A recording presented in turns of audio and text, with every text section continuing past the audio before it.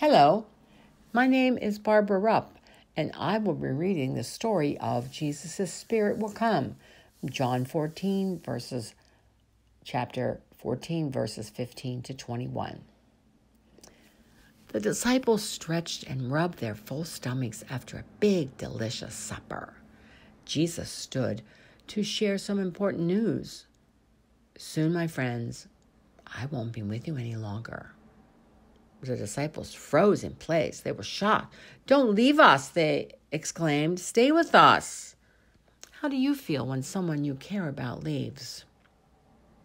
Jesus assured them, I won't leave you all alone.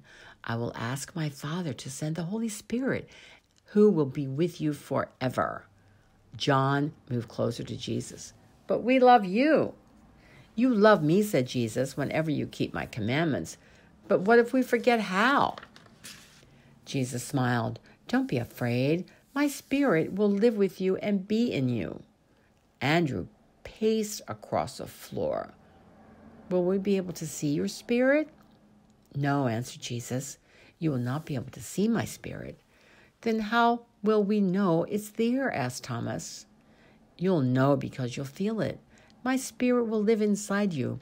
My spirit will help you love and care for others the way I do.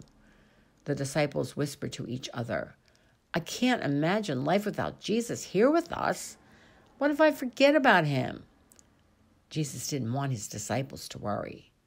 Remember, I love everyone, and my spirit will stay and help everyone who loves me.